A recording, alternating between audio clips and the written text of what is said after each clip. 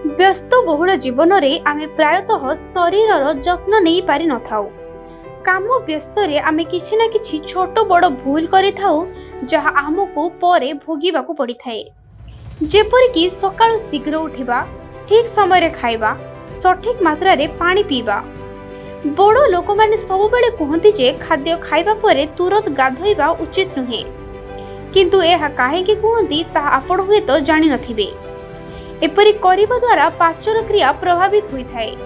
খাদ্য খাইবা পরে গাধোইবার অভ্যাস দ্বারা অনেক প্রকারর সমস্যা হইপারে খাদ্য খাইবা পরে শরীরর প্রাকৃতিক হজম প্রক্রিয়া আরম্ভ হুয়ে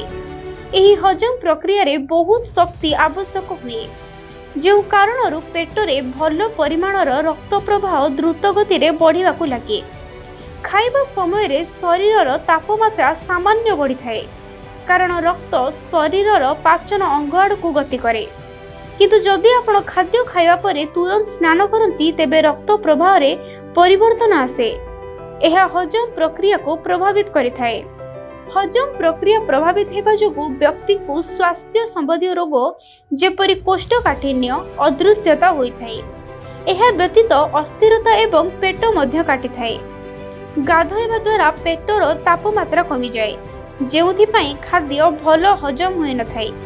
ତେଣୁ ଖାଇବା ପରେ ଅତି କମ୍ରେ ଗୋଟିଏ ଘଣ୍ଟା ପରେ ଗାଧୋଇବା ଉଚିତ ବ୍ୟୁରୋ ରିପୋର୍ଟ ନିରପେକ୍ଷ